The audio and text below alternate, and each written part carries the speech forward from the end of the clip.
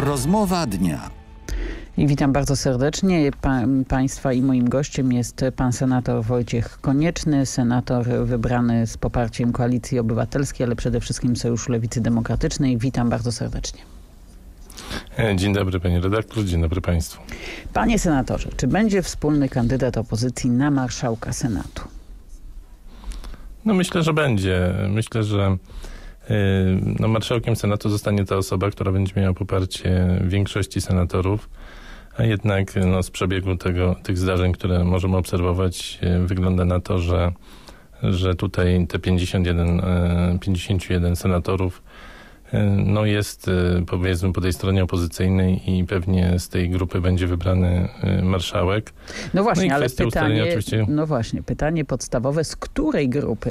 Dlatego, że jeszcze tydzień temu, wtedy kiedy te dywagacje na temat tego, kto będzie marszałkiem były bardzo gorące, one być może teraz troszeczkę przycichły, ale za chwilę pewno znowu ożyją, bo w końcu coraz bliżej pierwszego posiedzenia nowego Senatu, no to zarówno Platforma Platforma Obywatelska, Koalicja Obywatelska, jak i PSL, ale jak i Lewica no, proponowały swoich kandydatów.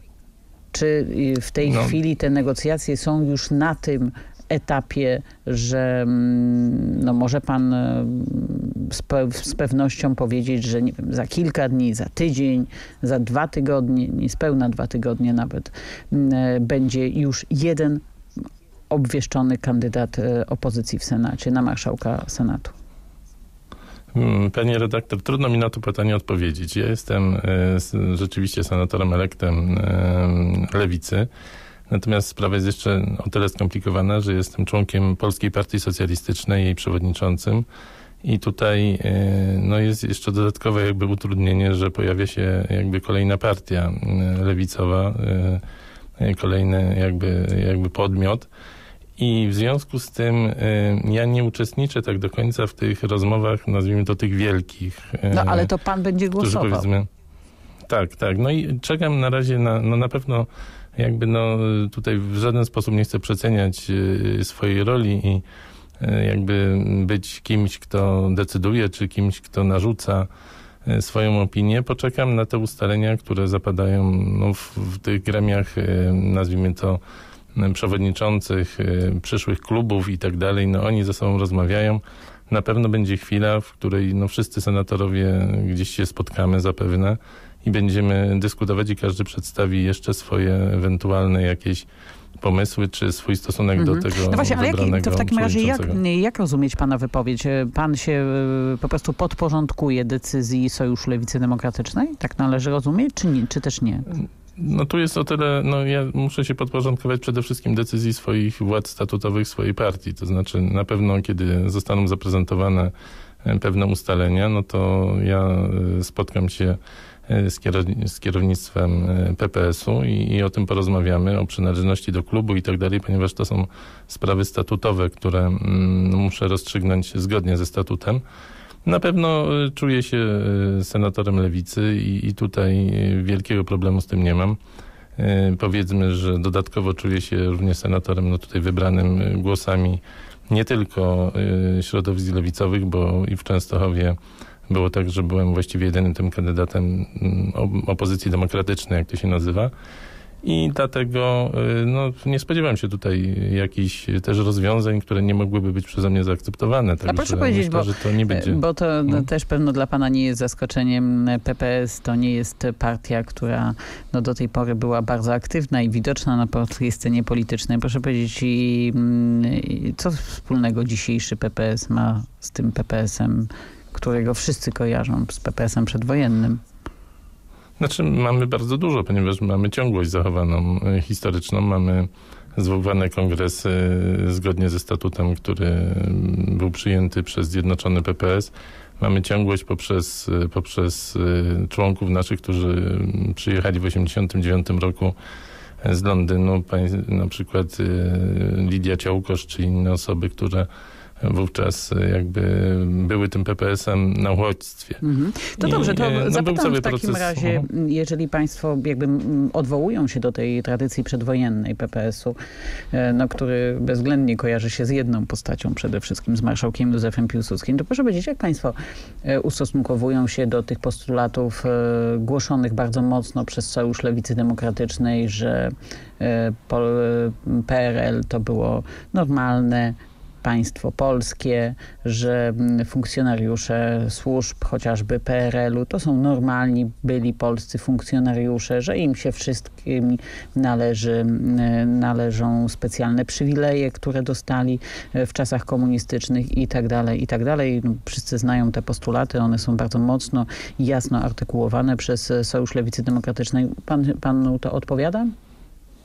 Znaczy to jest temat na wielką rozmowę, na, na ogromny, to jest ogromny problem. Państwo, które dużo czasu, istniało, było... dużo czasu nie mamy, Mhm. mm, dosłownie No wiem, trzy wiem. minuty. E, Powiem w ten sposób. No, państwo, które wtedy istniało, było uznane. Było to państwo uznane przez wszystkich. Prawa, które tam obowiązywały, przeszły na, do e, III Rzeczpospolitej. e, I tutaj no, no, był taki czas, że można było to rozwiązać. Albo zanegować rzeczywiście PRL jako państwo, które powiedzmy no, nie było do końca suwerenne, albo, y, albo no, przejąć y, spuściznę PRL-u y, i, i tak zadecydowano kiedyś. Dzisiaj to już są trochę historyczne rozważania. No nie historyczne, mimo, bardzo my mamy- aktualne i mamy- polityczne. No tak, one są właśnie, to jest trochę, mimo że my jesteśmy partią rzeczywiście osadzoną, zakotwiczoną mocno w historii, to jednak wolimy patrzeć w przyszłość, wolimy patrzeć y, w to, co jest dzisiaj i to, co, co chcemy. No, ale na pewno to jesteśmy przyszłość jakimś, państwo e, patrzą z działaczami komunistycznymi, spadkobiercy myśli politycznej marszałka Józefa Piłsudskiego. To Józef No, Piłsudski to- zdaje, że się, zdaje się, że się w grobie przewraca, jak o tym Ale e, panie słyszy redaktor, i na to nie- patrzy. Nie chcę jakby e, ciągnąć, e, bo, bo ta dyskusja jest częsta. Zaraz jest wypominanie, że w innych partiach też są e, byli działacze PZPR-u, zajmują jakieś tam mm, eksponowane stanowiska. No u nas y, tej sytuacji nie ma, może dlatego, że No ale spod, rzeczywiście spadkobierca, jesteśmy małą partia, partią. spadkobierca partii komunistycznej jest tylko jedna. I tutaj nikt nie ma Powiem wątpliwości, o tak, tak. chodzi. Powiem w ten sposób. No, no z jakiegoś powodu jesteśmy w PPS-ie, niewątpliwie. Jesteśmy jakimś, y, no tym, tą patriotyczną częścią, czy najbardziej patriotyczną, może nie odbierając nikomu y, y, żadnych zasług, czy, czy jego, jego myśli, ale tą na pewno stawiającą y, tutaj te sprawy patriotyczne no, wyżej niż, niż reszta naszych, y, naszych kolegów innych partii czy stowarzyszeń po lewej stronie, ale nie odejmując im również zaangażowania Mhm. i patriotyzmu. Myślę, że to było, to są mm, czasy, które minęły, ciemne czasy.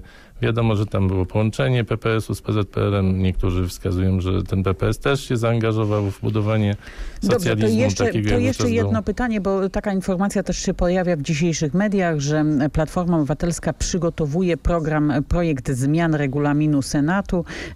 Ten projekt zakładałby nowy wymóg, wprowadzałby nowy wymóg odwołania marszałka Senatu już niezwykłą większością, a większością trzech piątych głosów i e, wymóg takiej samej większości dla zmian regulaminu e, prac Senatu. Czy pana zdaniem to jest dobry pomysł, czy nie?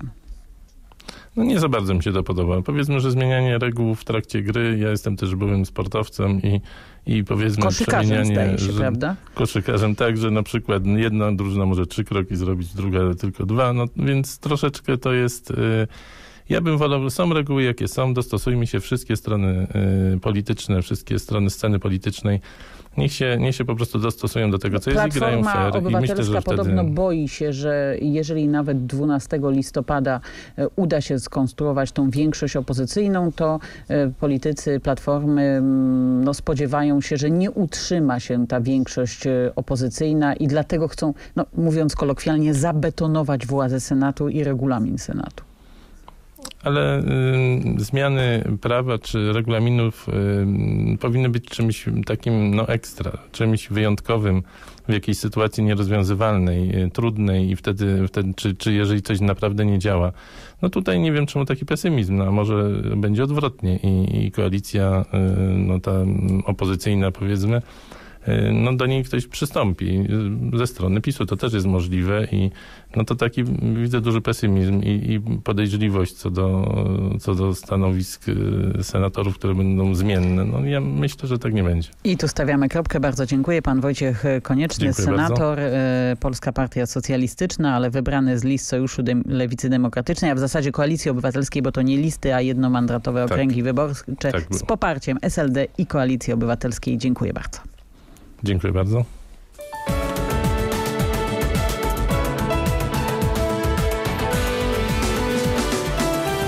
Była to rozmowa dnia.